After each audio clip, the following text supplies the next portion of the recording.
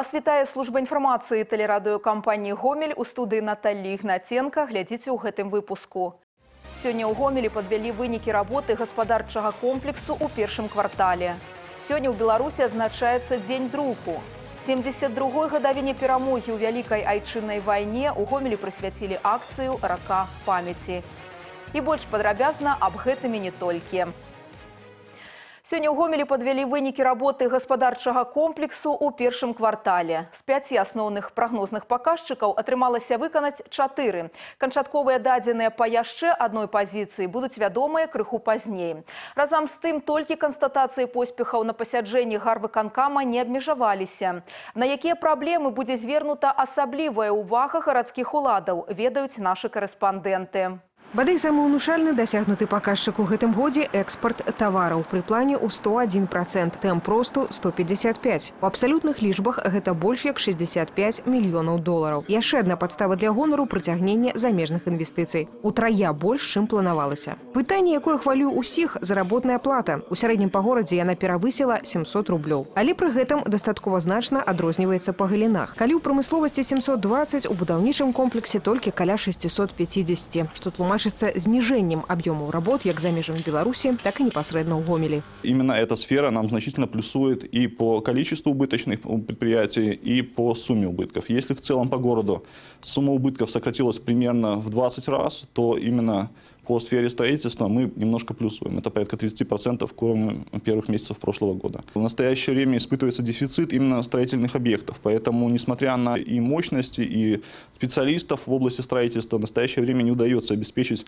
э, выход на уровень хотя бы прошлого года. У гомельскім гарвыканкамі перакананы, нават нягледзячы на дастаткова высокія паказчыкі, вынікі могуць быць яшчэ больш значнымі. На шэрагу прадпрыемстваў існуючыя магутнасці выкарыстоўваюцца не ў поўным аб'ёме. На іншых пры высокай якасці прадукцыі не атрымліваецца арганізаваць яе пастаўкі на экспорт. Яшчэ адна сфера павышанай увагі пра соладкавання. Зараз узровень беспрацоўя ў гомелі складае 1 процент. З пачатку года каля 500 беспрацоўных накіравана на перанавучанне. На пастаянную работу уладкавана амаль 3 тысячи гамельчан гамельчан. Яшчэ 2200 занятыя часова. Сейчас люди работают ну, конкретно у больницы, например, у госпитале, у Костюковки больницы, значит, в Центре социального обслуживания населения Советского района. В ближайшее время, вот сразу после э, Дня Победы, будут работать в нескольких, в четырех школах.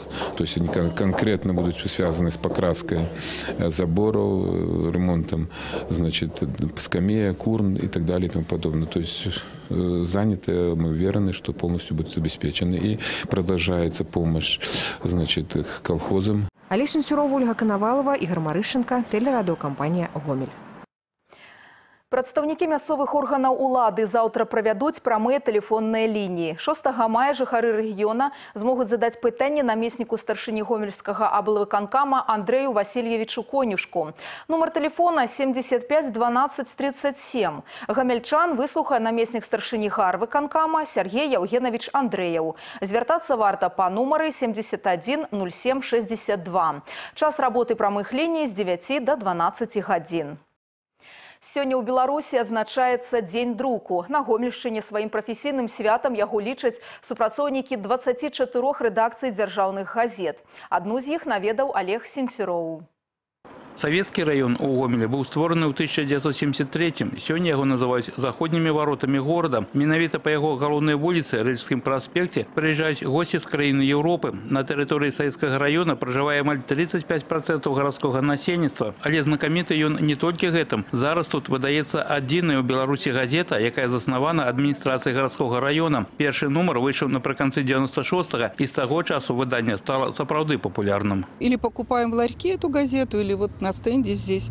Ну, потому что мы живем в этом районе, рядышком, и, конечно, все вот события интересно знать. Вот даже сейчас про расширение дороги, что нас всегда волнует к магазину, подход вот этот. Вот новость узнали, что будет благоустройство этой дороги. Так что газетой довольны. Сегодня газета «Советский район» позиционует себя как выдание, готовое отгукнуться на любые просьбы читачов. Причем журналисты не только выезжают на место подей, але и принимают гомельчан непосредственно в редакции. Только по телефоне, что год сюда поступает больше 500 зворотов, плюс зносено про социальные сетки. Частка узнятых по пытанняў друкуецца ў рубрыцы дапамажыце разабрацца пытанні якія рэдакцыя не можа вырашыць самастойна накіроўваюцца для прыняцця мер кіраўніку адміністрацыі раёна з мінулага года газета перайшла на самаакупнасць асноўная крыніца фінансавых паступленняў подпіска і рэклама Праўда колькасць апошняй абмежавана галоўнае ўсё ж такі інтарэсы чытачоў Мы нашли свою нишу. Это главное, на это обратная связь с читателями. То есть крупным изданиям нет дела до проблем, которые во дворе происходят, там, в отдельно взятом подъезде. Мы можем этой темой позаниматься и, в принципе, занимаемся. То есть с- пишем близкие людям новости и стараемся э, а- ну, реагировать на их обращения, которые постоянно поступают в редакцию. У акцыянерным таварыстве палездрук апошні нумар газеты савецкі раён атрымліваюць у электронным выглядзе дакладна ў адпаведнасці з графікам у 21 вечара для падрыхтоўкі абсталявання спецыялістам спатрэбіцца яшчэ каля 15 хвілін. Для таго, каб чытач атрымаў газету раніцай, яе неабходна надрукаваць вечарам. Абсталяванне, якое ўстаноўлена ў акцыянерным таварыстве палездрук, дазваляе друкаваць за одну хвіліну каля 400 экземпляраў. Такім чынам, увесь тыраж савецкага раёна убачыць свет недзе праз 20 хвілін. Сёння на Гомельшчыне выходзіць 24 дзяржаўныя газеты, абласная, гарадскія і раённыя. Практычна усе яны выдаюцца на палез друку і ўжо адсюль дастаўляюцца ў рэгіёны. Кожную раніцу частку новых газет атрымліваюць падпісчыкі, астатнія паступаюць у свабодны продаж. Для рэдакцыі гэта своеасаблівы барометр прафесіяналізму. Выданні з цікавымі і актуальнымі тэмамі разыходзіцца больш хутка. Олег Сенцюроў, Ігор Марышченко, тэлерадыокампанія Гомель. У нядзелю 7 мая сваё прафесійнае свята адзначаць і супрацоўнікі радыё, тэлебачання і сувязі. Прымаць віншаванні і заслужаныя ўзнагароды нашы калегі распачалі ўжо зараз.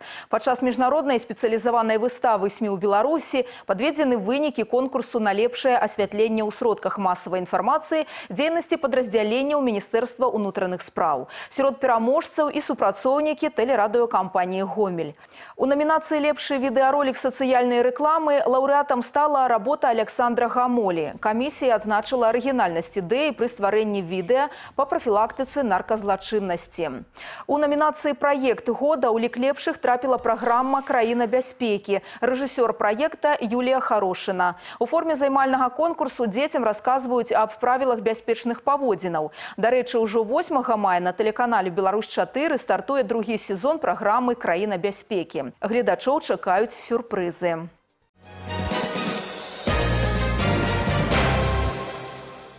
Прэзідыум гомельскага абласнога аб'яднання прафсаюзаў праводзіць сустрэчы віншаванні з ветэранамі вялікай айчыннай вайны, якія ў мірны час працавалі ў прафсаюзных структурах. Сёння падарункі і грашовую дапамогу атрымалі жыхары гомеля.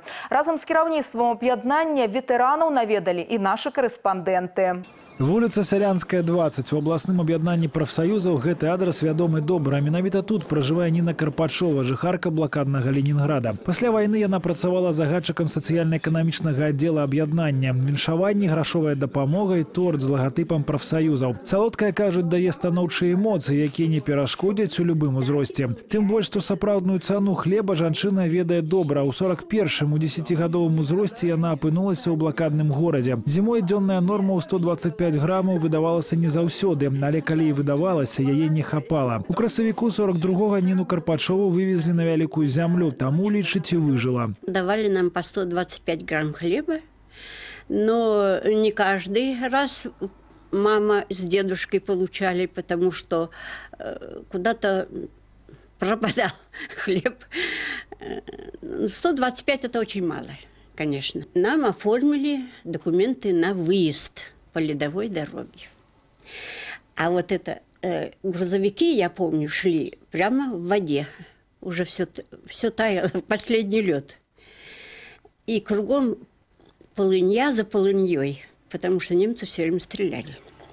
И, конечно, много машин уходило с людьми вот в эти полыньи. Константин Мятлушка былы вязень фашысцкага канцлагера. У 1944 трапіў у сумнавядомы лагер смерці Азарычы, дзе захварэў насыпны тыф. Пасля вызвалення месяц правёў паміж жыццём і смерцю, але выжыў, каб у 80-х ужо самому выратоўваць іншых. Падчас чарнобыльскай катастрофы Константин Мятлушка працаваў загадчыкам фінансавага аддзела абласнога аб'яднання прафсаюзаў і займаўся аздараўленнем пацярпелага насельніцтва. За актыўны ўдзел у ліквідацыі аварыі узнагароджаны медалём і ганаровай граматай прэзідыума Верховнага Совета БССР. были задействованы здравицы, э, кроме Белоруссии, Юга и Запада, так, Прибалтики. И, и нужно было с ними вести финансовое финансирование всех расходов. Ну, кроме того, нам очень пришлось э, профсоюзам, я имею в виду, обеспечивать материально вот, отселенцев. Дальше э, переодевать их, потому что дети перед тем, как направлять на оздоровление, нужно было переодеть ну, тех где, загрязненных районов, тоже мы обеспечивали. Олег Сенцюров, Максим Савин, Игорь Марышенко, телерадиокомпания «Гомель». 72-й гадавіне перамогі ў вялікай айчыннай вайне гомельскі дзяржаўны медыцынскі універсітэт прысвяціў акцыю рака памяці. Сёння студэнты і выкладчыкі ВНУ пусцілі па рацэ сош вянок жывых кветак. У гонар байцоў, якія загінулі пры абароне і вызваленні гомеля, удзельнікі акцыі вырабілі папяровыя караблікі. На кожным словы падзякі за мірнае неба, свабоду і незалежнасць.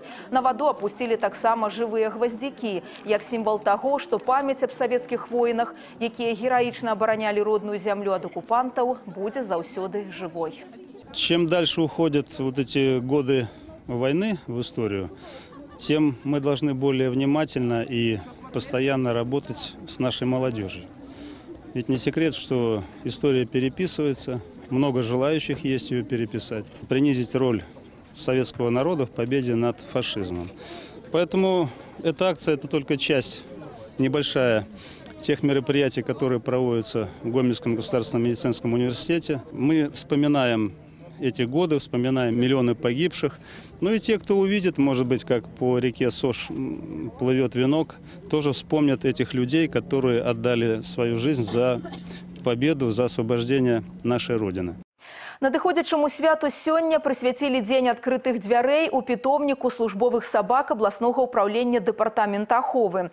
На мерапрыемства запрасілі навучэнцаў профільных прававых класаў. Галоўная мэта азнаёміць вучняў з прафесіяй міліцыянера, сфарміраваць у моладзі станоўчы імідж супрацоўніка органаў унутраных спраў, выхаваць адчуванне гонару за радзіму і подзвіг ветэранаў вялікай айчыннай. Дзень адкрытых дзвярэй уключыў паказальныя выступленні кінолагаў з затрыманнем умоўных злачынцаў украінцаў. Школьнікі таксама агледзелі экспазіцыю зброі і амуніцыі часоў вялікай айчыннай войны. Сегодня в Дне открытых дверей участвуют наши профильные классы, участвуют дети из других школ.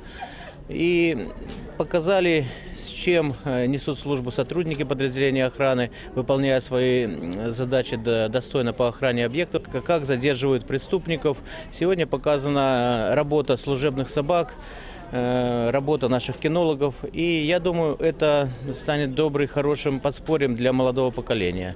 Пусть не все где-то придут служить в органы внутренних дел, да, наверное, где-то это не нужно, но станут хорошими людьми и будут приносить добро нашему государству. И тем более это в преддверии 72-й годовщины Великой Победы. Канцэрт камернага хору абласной філармоніі, прымеркаваны да дня вялікай перамогі, сёння прайшоў у сярэдняй школе нумар 11 горада Гомеля. Гэты калектыў сапраўдная візітная картка нашага рэгіёна. Самая разнастайная палітра харавой музыкі і заўсёды высокі ўзровень выканальніцкага майстэрства. У рэпертуары руская і замежная класіка, вакальна-харавыя мініяцюры, рамансы, народныя песні. Для школьнікаў артысты выканалі класічныя творы і сусветна вядомыя кампазіцыі розных эпох. І, безумоўна, на песні военных годов, якія распавядаюць пра мужнасць і гераізм воінаў-вызваліцеляў. Камерный хор уже не первый раз выступает в стенах нашей школы, и нам особенно приятно, что это выступление сегодня, в канун великого праздника Дня Победы. А, мы 11 школа уделяем огромное внимание и эстетическому, и патриотическому воспитанию учащихся. Мы рады, что сегодня со сцены звучала не только классика, но и песни военных лет. На наш взгляд, это очень способствует патриотическому воспитанию наших учащихся. Гэтыя, а таксама іншыя навіны вы можете знайсці на нашым сайце ў інтэрнэце па адрасе трайное w кропка цівяргомел кропка бівай. На гэтым выпуск завершаны ў студыі працавала Наталья Ігнаценка. Мы сочым з развіццём падзей у гомелі ў вобласці. Заставайцеся з нами.